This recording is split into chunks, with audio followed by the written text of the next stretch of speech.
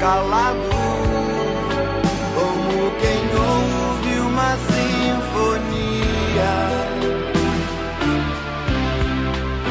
de silêncios e de luz.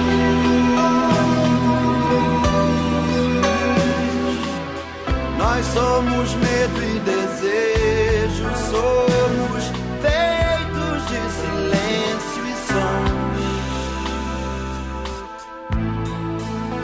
Tem certas coisas que eu não sei dizer.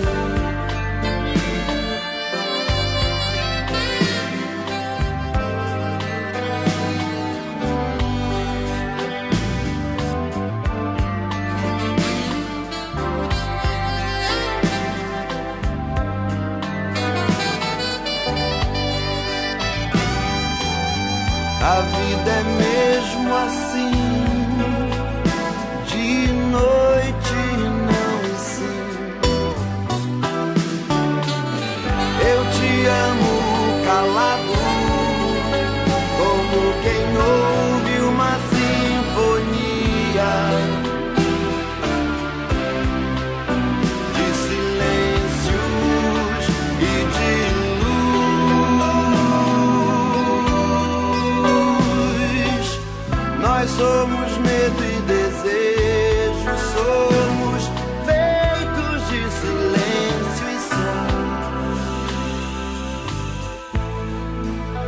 Tem certas coisas que eu não sei dizer.